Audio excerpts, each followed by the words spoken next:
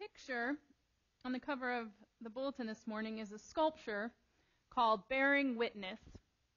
And it's by the artist, uh, the sculptor Martin Puryear. Now, a native of Washington, D.C., Puryear was commissioned by the General Services Administration of the federal government to create a public statue or a sculpture to go in Federal Triangle Plaza, which is right outside the Ronald Reagan building and the International Trade Center in Washington, D.C. And considering the prominent location of this piece, Puryear could have gone any number of directions. He could have chosen to honor Ronald Reagan, who the namesake of the building that this piece would go in front of, or some other notable figure in politics or in trade, considering it would be outside the International Trade Center. But instead of creating the likeness of any one particular person, Puryear went in a different direction, a more abstract direction, as you can see. Instead of crafting a particular per- person or figure or a statue, Puryear instead crafted the almost enigmatic figure that you see here. This abstract and mysterious figure. And though Puryear intentionally left the form abstract to encourage people to interpret it for themselves, one art critic wrote this, which resonated with me. He described this piece as a proud head that rises on a long neck and shows a sheer face to the monuments of temporal power. See, recognizing the significance of its location and the weight of its context, Puryear had this to say about his design. For myself, I wanted my work to be directed toward people rather than toward the government. In a democracy, the people talk back to the government. When I was asked for an explanation of the title, I said, A true democracy requires that the governed be enlightened, vigilant, and vocal. Basically, we are the government. And in this spirit, bearing witness, this sculpture that you see here is a provocative and a beautiful reminder in the very heart of the capital that we, we the people, have not just the power, but also the responsibility to critique, to correct, and to check the actions of the government. Or, in Puryear's words, to be enlightened, vigilant, and vocal. And it's important to understand here that being critical of the government doesn't make you unpatriotic. Just as being critical of religious institutions doesn't make you a heretic. In fact, it's, it's the opposite. Holding systems of power accountable and advocating for change is the essence of healthy patriotism, and it is the basis of what it means to be truly faithful. You see, institutions are fallible. Though they would like the world and you to think that they are indelible, they are indeed fallible. Even if they were begun with good intentions, institutions can become corrupt over time. They are good hiding places for the evil desires of our hearts. Evil can sneak in between the cracks and hide behind the bottom line of any institution. This is true for any institution, whether it be a government or a corporation or a nonprofit organization or even a church. None of these bodies, none of these institutions are immune from corruption or abuses of power. And none should be beyond the reproach of the people. That is what bearing witness is about. It reminds us that the work of the people is to ensure institutions are just and fair. It is our responsibility to bear witness and to call out evil when we find it. But, there's always a but. Because questioning the powers that be is scary work. Systems of power typically don't like it very much when people undermine their authority. And they don't take kindly to people questioning their actions. But it is the work of the people to do this. And for those of us who claim to be resurrection people, we are called to bear witness to the presence of God's kingdom among us. The radical reality of God's love that overcame the grave on that first Easter morning. We are currently in the season of Easter, despite what it looks like outside. And as I said last week, Easter is not just a one time occasion or an occurrence. We are not done with Easter because Easter is not done with us. Just like winter here in Chicago, we are never done with Easter because Easter is never done with us.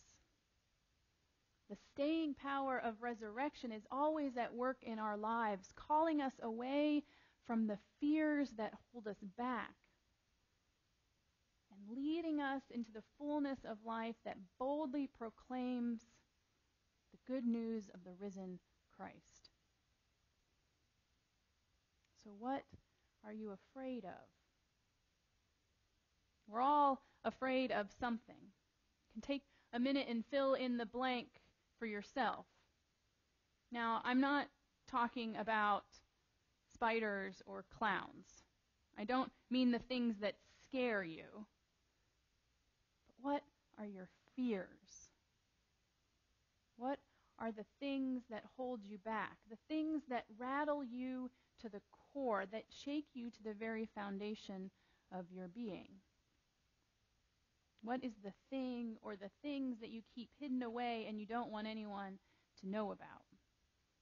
The fear of failure, the fear of not being enough, the fear of not being in control, the fear that others will find out that you're not who they think you are. These are paralyzing fears that keep us from living into the fullness of life that God desires for us. In Scripture, we see how fear held Peter back. The most recent occasion was when he was sitting around a fire in a courtyard outside a house where Jesus was being held under arrest. Peter was just sitting there, trying to blend in. But what happened? Three times on three different occasions, someone recognized him as connected to Jesus, as a follower of this Jesus. And three times, what did he do? Denied him. Out of fear of what would happen to him, Peter denied knowing Jesus. Three times he turned his back on the one that he believed was the Messiah the one that he had quit his job for and followed for three years, the one that he had professed to love. And yet, in that moment, fear made him vehemently deny even knowing Jesus. And it's this same Peter, this same Peter, and yet not quite the same Peter that we meet in our scripture reading this morning no longer cowering outside, no longer denying his connection to Jesus, we find Peter now boldly proclaiming the risen Christ and claiming an inability to keep silent, even under the threat of imprisonment and bodily harm and death. Because this is the power of resurrection. This is what becomes possible when fear doesn't hold you back anymore when it doesn't hold you back from living into the fullness of the gospel. Peter and the other disciples were brought before the Sanhedrin because they kept talking and teaching about Jesus even though they had been told not to. The resurrection empowered them and gave them the confidence to live into the radical reality of God's love made real in the world. And what's important to note here is that the disciples weren't actively protesting the Sanhedrin. They weren't organizing marches against the temple authorities. They weren't trying to overthrow the Roman Empire. The disciples were simply going about the work of loving their neighbor and teaching the good news of Christ. Now, I'm not saying there's not a place for protests and for marches, but the biggest threat, the biggest threat to those who would abuse the systems of power are the people who are going about doing the work of God's kingdom among the world's kingdoms. Those who are living into the radical reality of God's love made real in the world threaten the institutions of power because it's something that they don't understand and they can't control. See, worldly systems of power, these institutions that have become so big, rely on often rely on fear to maintain control. Fear of imprisonment, fear of torture, fear of death, fear of hell, you could go on and on. This is how these worldly powers, these institutions, command, if not allegiance, then at least submission. But before the Sanhedrin, Peter gives a stirring speech. Better for us to obey God than people, which is a noble rallying cry because it speaks to the higher loyalty we have to something beyond the control of any earthly institution. But we have to be careful here because it can become a problem when we use this claim to do the things that we think are right. Becomes a problem when God's agenda suddenly looks like our agenda and God strangely seems to hate the people that we hate.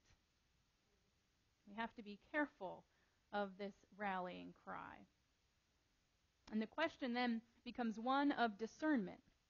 How do we know that we are obeying God rather than hiding behind our own desires or behind these godlike masks? How do we discern between all the false gods that clamor for our attention and the one true God that calls to us with that still, small voice? The answer only comes when we are willing to search with humility. And we're willing to hold what we find with gentleness. It comes through not letting our beliefs become so calcified that there is no longer room for God to move, no room for the Spirit to breathe new life. The lectionary reading this morning cut off right before one of my favorite Bible characters offers an insightful judgment and a prophetic pronouncement. I encourage you to go read, as Paul Harvey would say, the rest of the story, but I'll give you a brief overview. You see, this bold speech of Peter's, this stirring speech that he gives to the Sanhedrin, it enrages them. And they want, the leaders want to execute Peter and the rest of the disciples. When a man by the name of Gamaliel, Gamaliel, Gamaliel, it's pronounced many different ways, choose your own, who was a well-known Pharisee and a well-respected teacher of the law, steps in and he offers a word of wisdom. He begins by naming a few other would-be messiahs that he had seen rise and fall over the years. And then he makes the case for why the court shouldn't kill these disciples. He says the present case is similar to those. My advice is that you leave these people alone and let them be. If this movement, this activity is of human origin, it will destroy itself. If. But if, on the other hand, it comes from God, not only will you be unable to destroy them, but you might find yourselves fighting against God.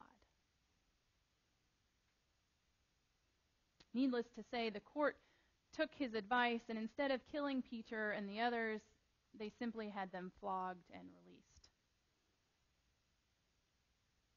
But his words call us forward with wisdom.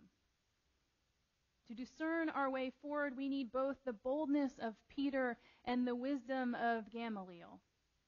We need the courage to speak up when necessary and the humility to allow God to move in ways that we may not understand. In this Easter season, for the next few weeks until Pentecost, we will be following the lectionary readings through this book of Acts. We'll accompany the disciples and we will bear witness to what's possible when we're willing to live into the power and the reality of the resurrection. So come. Easter people, I invite you to come and to lift up your voice to speak a word of life. To not be afraid. As you let wisdom guide you and the Spirit inspire you to practice resurrection. As you make your way through this world. Amen.